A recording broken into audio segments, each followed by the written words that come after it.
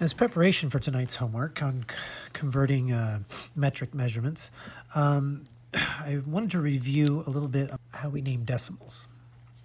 So, for example, uh, if I wanted to write like six hundredths, what I would need to do is I would have to have a decimal, a space here for the tenths place, and then a space for the hundredths place. That's where my six is going to go, and then I'm going to put in a zero for any unfilled spaces. So here we have six hundredths. If I wanted to make 17 hundredths, 17 hundredths, what I would need to do is I'd make I'd have to make sure that the second digit in 17 is in the hundredths place, or the last digit in, in the number 17 is in the hundredths place.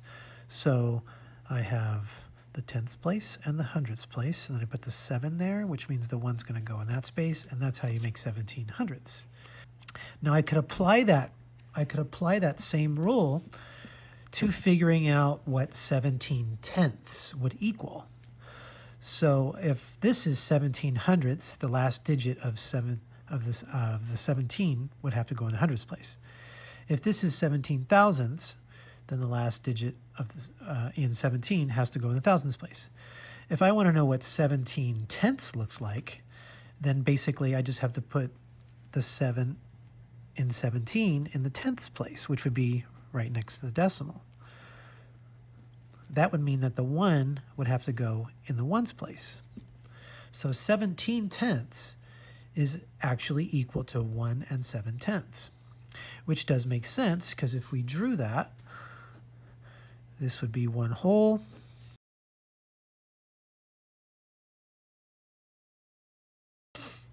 So this would be one whole and seven tenths.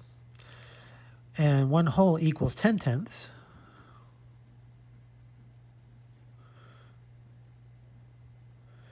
So altogether I would have 17 tenths. So it does make sense. Okay, for this homework assignment, uh, Engage New York uh, presents a clever way of using the place value chart to do metric conversions. So what we're going to do is we're going to take our place value chart and we're going to have uh, one, the ones uh, place be a meter. And then we're going to use the place values to um, for the conversions of that meter. So one tenth of a meter is a decimeter and one hundredth of a meter is a centimeter, and one thousandth of a meter is a millimeter. It says to convert 105 centimeters into meters. So I am just going to write 105 centimeters. Now, in order to do that, um, I would put the last digit of 105 into the centimeter spot. So the last digit is the 5 and then 0, and then 1. And then this would be 105 centimeters. And then I would just, all I would have to do basically is look at what it is if it was meters. If it was meters, it would be 1 and 5 hundredths of a meter. And that's how it works.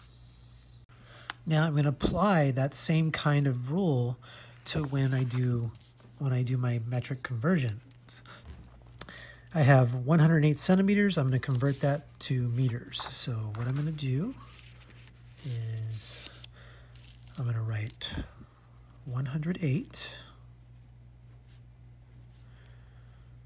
centimeters. And then all I need to do to figure out what it is in meters is look under meters and see what number that forms. So if Meters is my units, my whole units, so I have 1 and 8 hundredths of a meter. So that would be my answer. 1 and 8 hundredths of a meter. So basically what I did in order to do that, 108, I would be dividing it by 100, which is 10 to the second power, to equal 1 and 8 hundredths. All right. Now let's take 2 and 49 hundredths of a meter, and we're going to convert that to centimeters. So let's use our place value chart. 2 and 49 hundredths of a meter. Now I just look over to centimeters. I treat this as the whole unit. And I just take this whole number, just ignore that decimal, and what does that look like? 249 centimeters.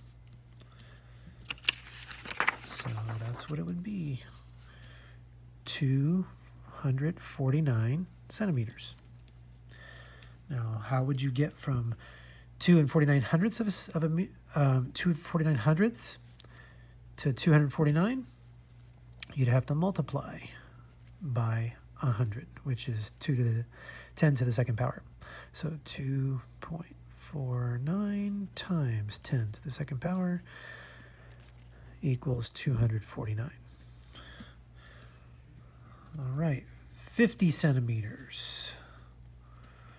So going back to my place value chart, I'm gonna make 50 centimeters. So the last digit in 50 is the zero. So I'm going to put the zero here and then the five in front of it. So there is my 50 centimeters. Now, if I was looking at if I was looking at it as meters, then it would become a decimal. So I have 0 0.5, and I don't need to put that zero on there. I can leave that off. Could leave it on, but I want to take it off whenever I can. So 0 0.5 or 5 tenths would be the equivalent. So 50 centimeters equals 0 0.5 meters. And you can see that 50 becomes smaller, so I'm going to be dividing by a power of 10. So that's 50 divided by 10 to the second power equals 5 tenths. All right. 6 and 3 tenths into centimeters. So here's my place value chart. Under meters, I go 6 and 3 tenths. I want to know what that is in centimeters. So in, if I was looking at it in centimeters, I'm going to have to fill this place value. And I would, to fill it in, I'd put a zero there, and it would be end up being 630 centimeters. So 6 and 3 tenths meters equals 630 centimeters. So uh, that means I took 6 and 3 tenths and I multiplied it by 10 to the second power to get